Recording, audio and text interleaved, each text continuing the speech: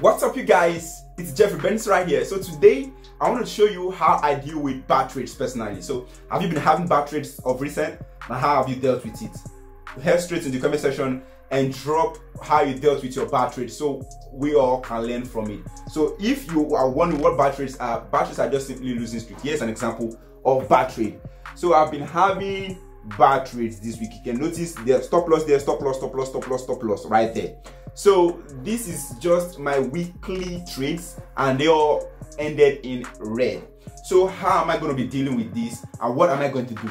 So if you are new here, consider subscribing, liking our content and even share with your friends and loved ones. So what we like to do here at FirePip, I'm Jeffrey Benson. All I love to do is to inspire traders through their winning times and also their losing times. So they know that it's a very fun business to be in. Because forex actually can be a very lonely business but we're trying as much as possible to make it fun for you out there to inspire you that yes you can be successful through trading forex. So if you like how that sound and you want to be a part of our success success story make sure you hit the subscribe button. And thank you guys for doing that.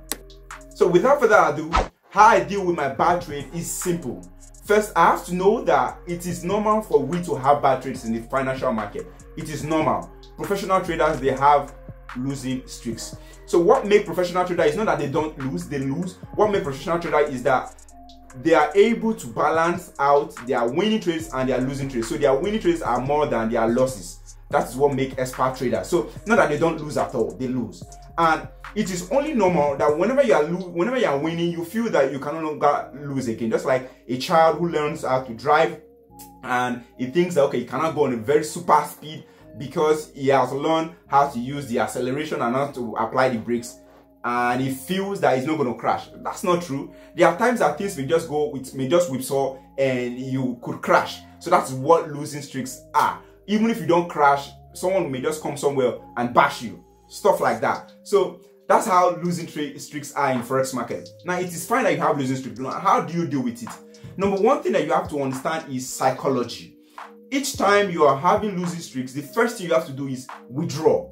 Withdraw from the forex market and analyze what have I been doing wrongly and how do I change what I've been doing wrongly and change it in the right perspective and put in the right perspective.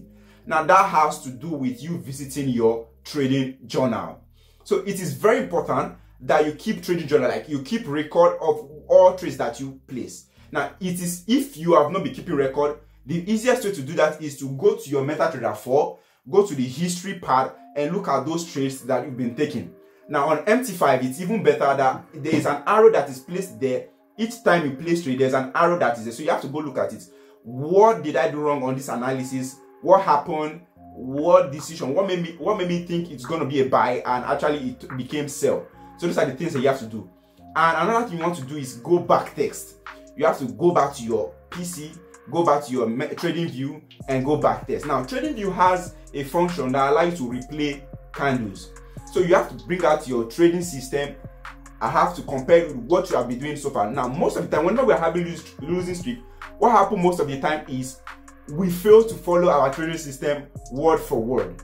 We probably we are doubling down our position size when we're supposed to risk 1%, we are risking 2% because we are no longer focusing on what we stand to lose, but we are or with our risk, we are no longer focusing on risk, we are now focusing on what we stand to gain. It is normal, that's human being. Now you are probably because you have target, you have said to yourself, oh, this month I want to make ten thousand dollars or I want to make X amount of money. You start taking huge risk because you want to uh, surpass that risk that uh, that uh, target you set for yourself.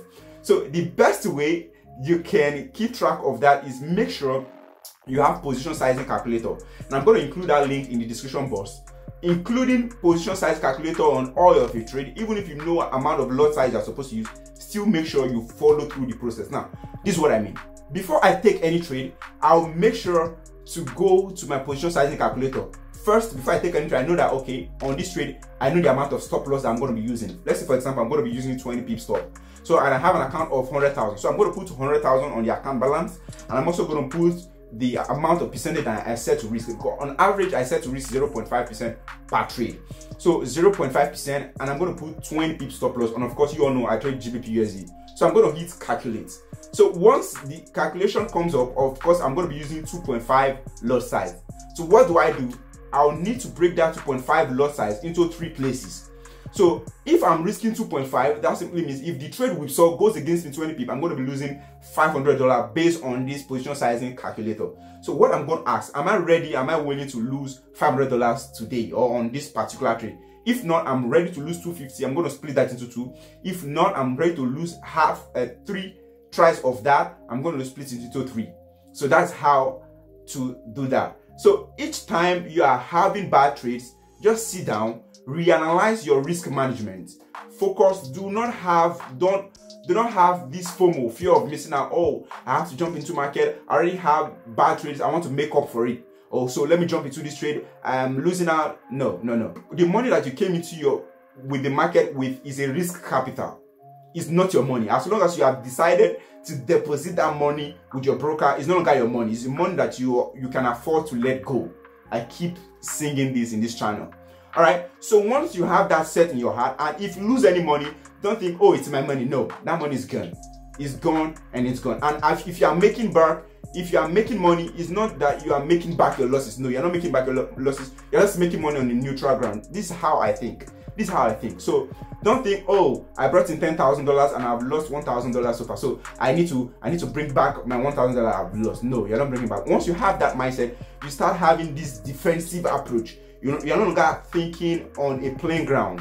You are thinking because you want to make back your money. You want to make back. You're only fighting to make back.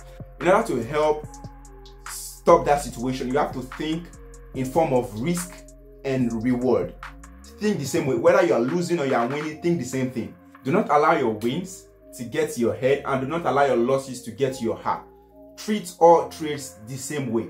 It's very hard because we are human beings. We are highly emotional we can be very fearful and we can be very greedy when things are in our favor we can be very fearful when trades are going against us so you have to learn as a trader that's one of your responsibility to be able to even out when trades are good or bad you still remain neutral you remain the same way all right? So that's why you have to stay away from social media internet. Whenever you win take it out of the internet. Whenever you lose also take it out of the internet. Of course maybe you have um, other reason. Maybe you want like sell courses or make people know okay what i'm doing is actually very productive. That's the only reason why you want to post that on instagram or on telegram or maybe on youtube or any other places. But aside that what i want to advise you if you are not a youtuber or if you are not an influencer or trying to become one just take your winning winning trades or losses to yourself do not broadcast that because people will definitely come for you if you have winning trades they will definitely come for you probably saying your loss sizes are irregular you're not considering money management they will always have one thing one or two things to say, whether you are losing or you're winning. All right, so it's normal. So let me know what your losing streak story has been so far. How were you able to deal with it? How do you deal with your battery? So that's what I just want you guys to know that I also do have batteries as I am currently having now. And how I intend to go out of that is backtesting number one, backtesting my strategy, knowing what to do. And one other thing I forgot to mention is if you're having battery, that does not mean your system longer works. It still works. it still works because market is dynamic. All what market just wanted to do then is to shift to the current trend, shift to the current pattern that is currently happening. There are two patterns that I, I, I look out for in market. I look at two structure. I either look out for continuation structure or I look out for reversal structures. Anything consolidation, I don't trade. Anything maybe range in market, I'm out of it. I don't trade.